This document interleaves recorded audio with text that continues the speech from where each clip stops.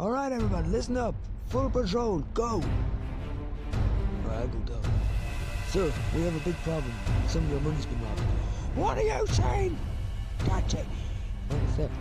Get down there, you rat. I'm coming down there to sort you out. Now, you flip him over. This is what happens when you don't do anything right. You dummy. Stop What, what's going on down there? You better punch him and kill him, you idiots! Ah. Oh. Wait, please, no, wait, ah! ah. Gotcha, dude.